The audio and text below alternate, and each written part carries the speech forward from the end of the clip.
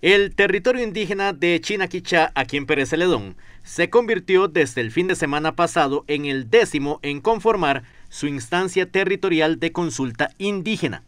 Este instrumento jurídico está enmarcado en el Mecanismo General de Consulta a Pueblos Indígenas que somete al Estado a la obligación de consultar a los pueblos indígenas de forma libre, previa e informada cada vez que se prevean medidas administrativas proyectos de ley promovidos por el Poder Ejecutivo o proyectos privados susceptibles a afectarles. El Mecanismo General de Consulta Indígena es uno de los instrumentos más vanguardistas en materia de gobernanza y autonomía indígena.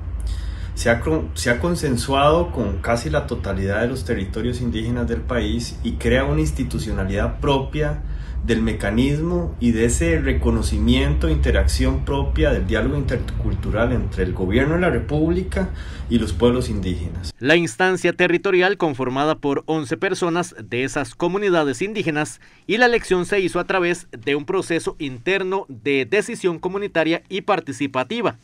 la asamblea se realizó el sábado pasado y contó con la participación comunitaria entre miembros de organizaciones representativas del territorio que acudieron a la convocatoria. En el territorio indígena Chinaquichá se conformó la instancia territorial de consulta indígena. Esta se realizó a través de una asamblea en la cual se convocó a todos los miembros del territorio para que pudieran hacer la elección de la instancia territorial. La instancia territorial eh, cumple un rol de logística, coordinación para todos los procesos de consulta. misma no sustituye ninguna de las organizaciones representativas dentro del territorio y eh, ella no es la que toma las decisiones, porque las decisiones en sí de los procesos de consulta las toma es el pueblo indígena.